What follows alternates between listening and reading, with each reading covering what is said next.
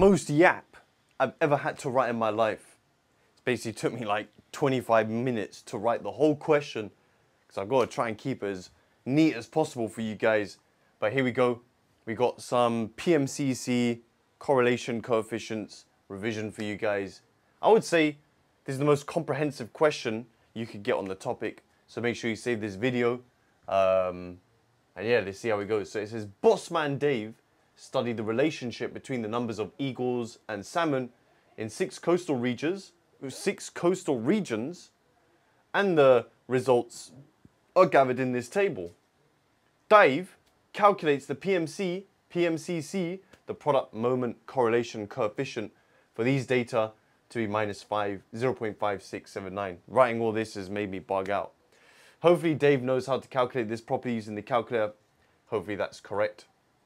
Stating your hypothesis clearly, carry out a two-tailed test at the 5% level of significance to decide if there's a linear correlation between the salmon and eagles. Okay, so we've got our PMCC value. Let's just go straight to it. Maybe we'll do it in a different color so you guys can see the working out a little bit easier. Oh, this pen is grim. Wait, do I have blue? I do have blue. Do you think blue would be easier? Hey, I'm bugging out. Let me, uh... Yeah, we could see that. So part A. The first thing we do is we state our H naught. H naught is that we assume the population coefficient is zero, meaning when we talk about R, the PMCC, that is talking about the sample. Now the sample is supposed to represent the overall population, right? So this is our population constant. Some of you guys might know it as rho, but let's just keep it simple. We're not here trying to do Greek and that. I'm just going to write P.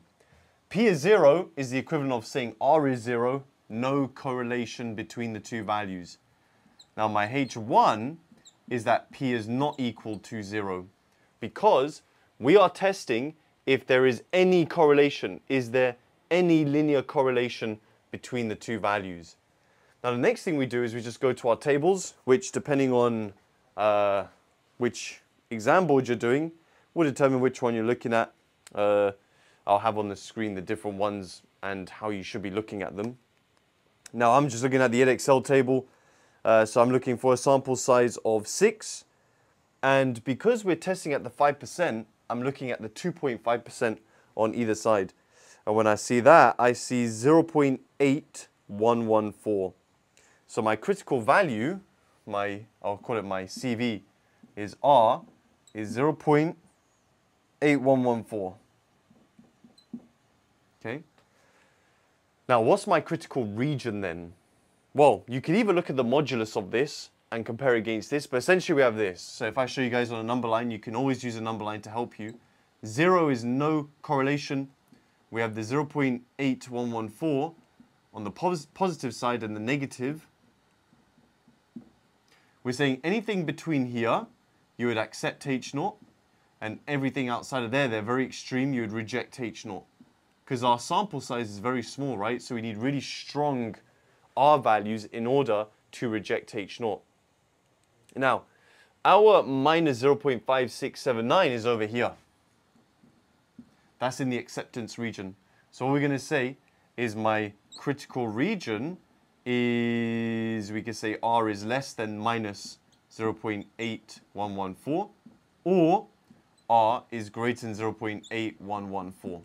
And then we can say that minus 0.5679, I can't even see it within my own writing, 5679 is between minus 0.8114 and 0.8114. So we would accept H naught now his pen is run, running out, so I'm just going to switch back to the black pen. You guys can see the, dis, the where the question finishes and where we start. So accept H naught, we're going to say there's insufficient or sufficient evidence to suggest, or insufficient evidence to suggest. I usually say accept insufficient, reject sufficient. So accept, accept H naught, insufficient evidence to suggest to suggest a linear correlation between salmon, and eagles. Okay? So be specific about a linear correlation in your conclusion because we don't always need to test for a linear correlation as we're going to do in the question. There could be non-linear correlations as well. Now part B says the salmon figures are actually given to the nearest 100 and the eagle figures to the nearest 10. Comment on how this could affect the validity of your test. Okay, so if the salmon figures are run to the nearest uh, 100, this could go up to 4250 and down to 4150. And this could go up to 2550 and 2450, etc. The question is, is how could all of these varied numbers potentially affect the outcome of uh, our test? Now, in the exam, most likely they'll accept both perspectives, but from my perspective, this is quite far away from this. 100, a difference of 100 proportionally to this, or even 50, if you add a minus 50, I'm just talking about the overall change. 50, with regards to all of these numbers, is very small percentage-wise. This one is very big. I could calculate it. So menu 1, I could do the difference between the two. Let's look at the absolute value. So 0.8114 minus 0.5679 divided by the original 0.5679 times 100. It's about 42.8%. Okay? So we could say, if you wanted to be super thorough with this, so part B, we could say minus 0.5679 is approx 43% away from the boundary. So it's unlikely, so it is unlikely, small changes in the number of salmon and eagles will change the outcome. Okay?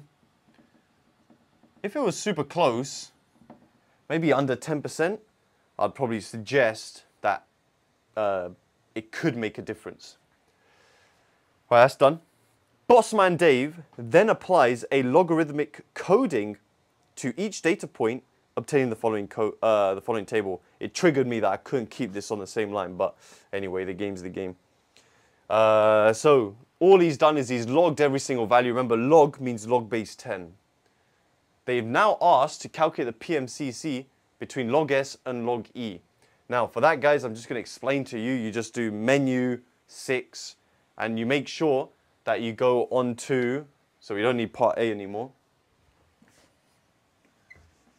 Because I did compute this earlier because I don't want you guys just watching me typing into a calculator, all right? So, you go, so I've got the best calculator in the world, the 991EX. You go menu, then 6, then you go to y equals ax plus b. Okay, so that one, uh, or a plus bx, mine actually says a plus bx, doesn't really matter. And then from there, you just type in your data. Okay, so you type in your data, then you go to option, and then you do number three for regression data. And when you do that, you get an R value for this to be minus 0.5888. Okay, you can check it yourself. I recommend you do check it.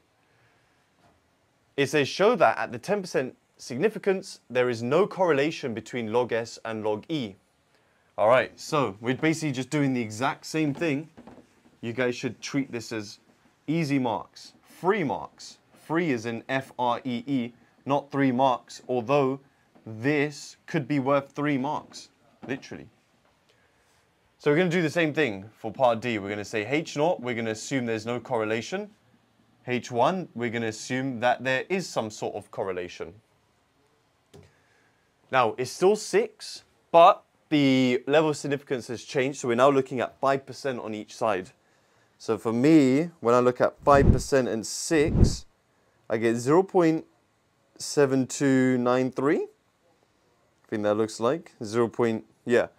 So my critical value is R is 0 0.7293. So my critical region is any R value, well, we're looking on either side, right? So we're going to say any R value less than the negative of this, basically the same as what we said before. Or R is bigger than the positive. Okay? So here, our value is not in that range. Okay? So we're going to say uh, minus 0.5888 is between minus 0.7293 and 0.7293. So we're going to accept H naught. Then insufficient, so I'm not going to write again, guys. It's the same as part A. Okay?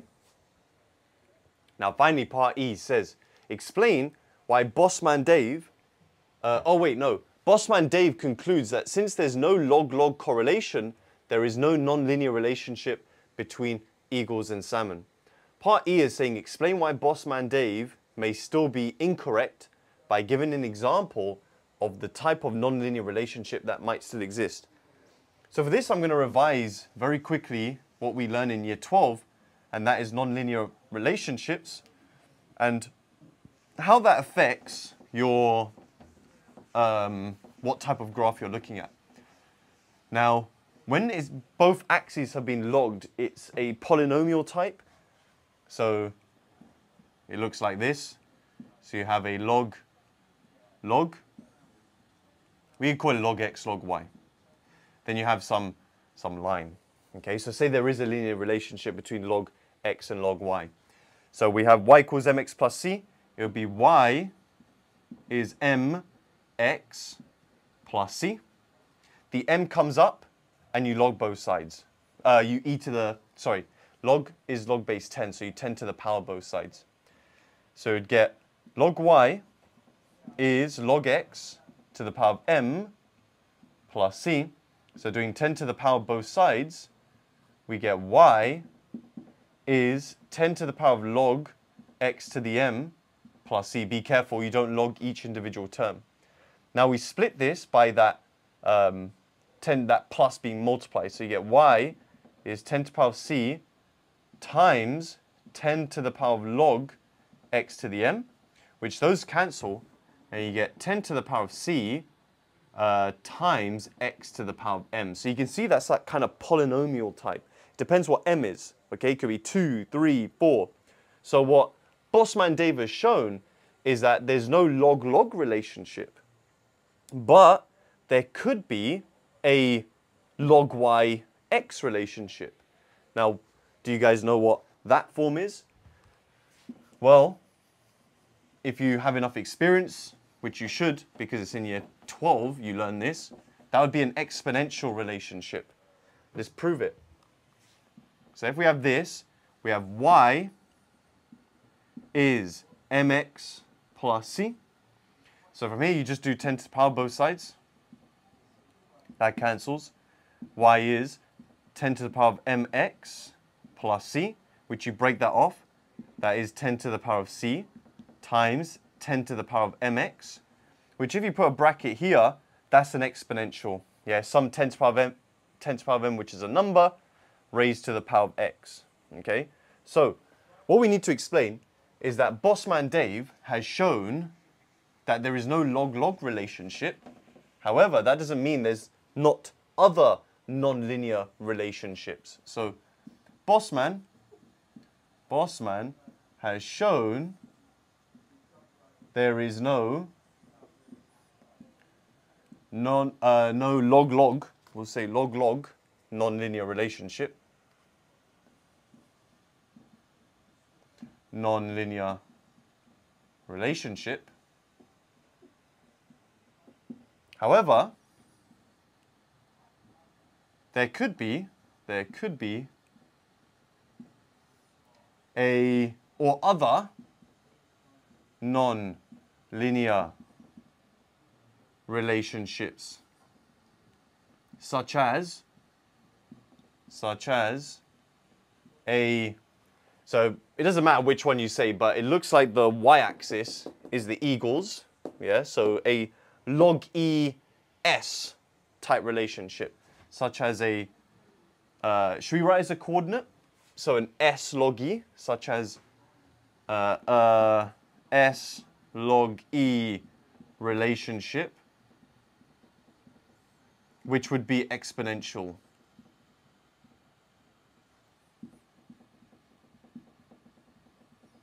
Okay? And that's your solution for part E. So for this question, never done so much writing in my life, is how you answer these kind of PMCC questions. So it's a very important one, guys. Make sure you save this video and like the video if you did learn something. I'd appreciate if you subscribe for more maths content. And if you're interested in my A-level maths courses, more details in the description. And feel free to join the LunGang Reddit page if you want to submit your own questions for the community to help you out. I'll see you in the next video. Nice.